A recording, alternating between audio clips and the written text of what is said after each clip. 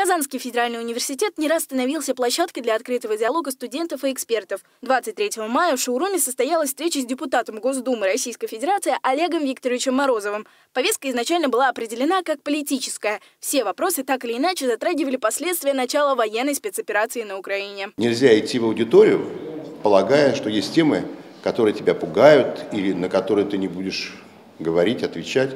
Если это в рамках нормальной этики – если это не выходит за рамки того, что называется порядочность, допустимая, мораль, все остальное.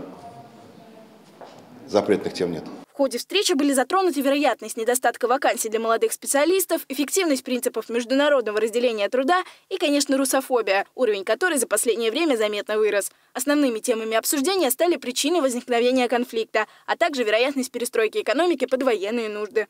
Особое место в обсуждении заняли вопросы, связанные непосредственно с так называемой всеобщей военной мобилизацией. Я вообще, вот, вот задайте себе вопрос, зачем, зачем всеобщая мобилизация? Чтобы что?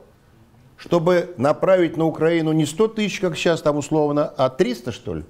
И это что, обеспечит э, перелом и победу? Война сегодня другая.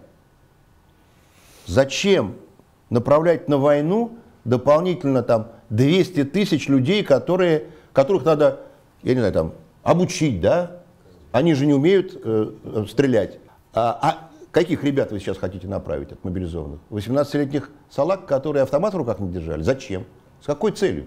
Да нет, конечно, не будет никакой всеобщей мобилизации. Открытое обсуждение таких сложных вопросов в кругу специалистов и представителей разных точек зрения – необходимость. Истина может родиться лишь в ходе конструктивной дискуссии. Полную версию встречи в ближайшее время можно будет увидеть в социальных сетях телеканала «Универ ТВ».